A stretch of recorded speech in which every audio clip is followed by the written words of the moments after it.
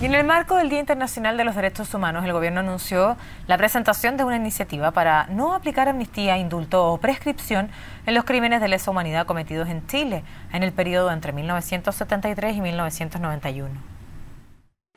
La segunda iniciativa establece una norma interpretativa que fija el verdadero sentido y alcance de ciertas causales de extinción de responsabilidad establecidos en los artículos 93 y 103 del Código Penal. Ello en el sentido de entender que la amnistía, el indulto y la prescripción o, media prescripción no serán aplicables al genocidio, a los crímenes de lesa humanidad o crímenes de delito de guerra perpetrados por agentes del Estado o por personas o grupos de personas que actuaron con la utilización, el apoyo o la aquiescencia del Estado durante el periodo comprendido entre el 11 de septiembre de 1973 y el 10 de marzo de 1990.